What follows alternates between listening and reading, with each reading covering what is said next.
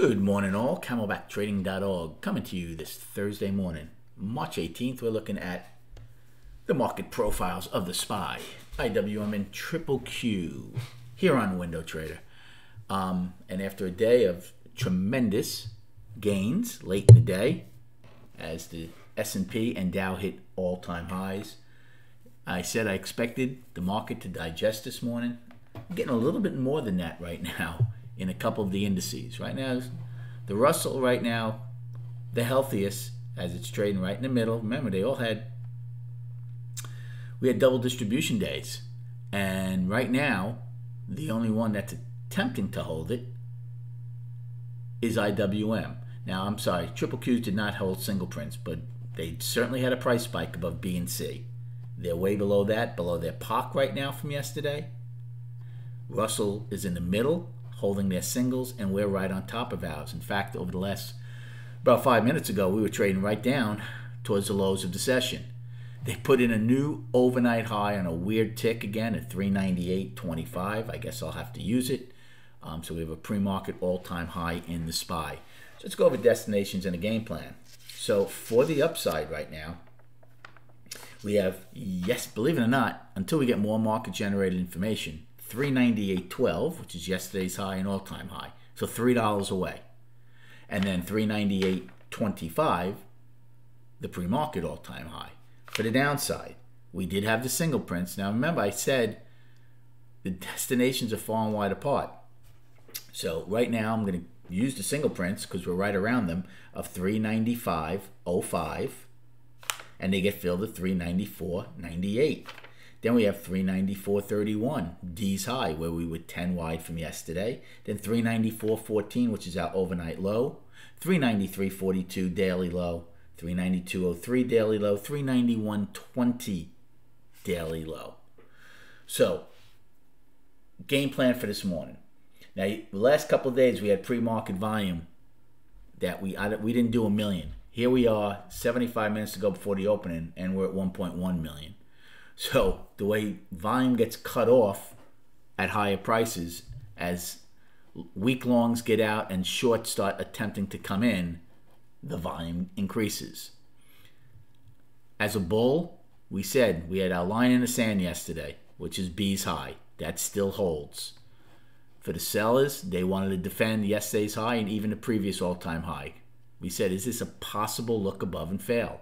Still remains to be seen. We have a lot coming up today and tomorrow. Don't forget, just before noon today, Powell is speaking again.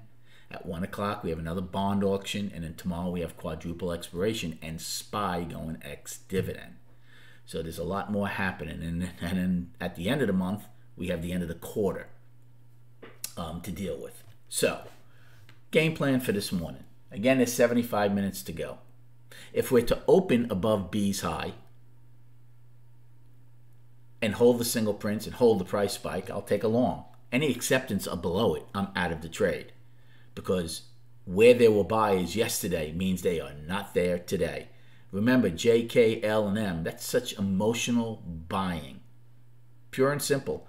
Again, when the Fed released their statement or the rate decision at 2 p.m., there was no real change in it. And this market just exploded to the upside. And then Powell spoke for over an hour. Nothing much more came out of that but the market just wanted to make new highs, and now here we are after it digests everything and saying, well, uh, I don't know why we just went up like that. So above B's high, even though it's in balance, in value, worst of the risk rewards, that's where the price spike was. See if there's buyers. If when we open, we open below B's high, any push up towards it, I will take a short play. They're going to have to prove they can get back above B's high then because obviously there won't be buyers there. Again, another push down around POC. We were very wide, very visual. You could take a long against that. And then I would use probably I's low as my out. If you take out I's low, yesterday's low should fall. Remember, the daily is still just in balance. Monthly and weekly are up for now. Russell, same thing. They're acting better. You could take a long against F's high, which is the single print fill and where change took place. Triple Q is a lot different story. They're way below where change took place, where we had the spike. In fact, they're below their wide POC. So we'll see what happens if they push down. Can you take a long against yesterday's low? You can take a long against F's low. I would be out below yesterday's low, though. See if we at least get back to the wide POC if you open and drive down initially, down to there. If you open, drive up, again, I would take a short against B and C's high until they can prove they can get back up above the price spike. And then on the charts, I'm just going to show you the daily. We're in a two day, right? It's balance. It's basically a two day balance. yesterday, and really it's one day balance. I mean, yesterday's high, we, we had a chance for an outside day up. Not only didn't we get it, we're down two and a half dollars this morning.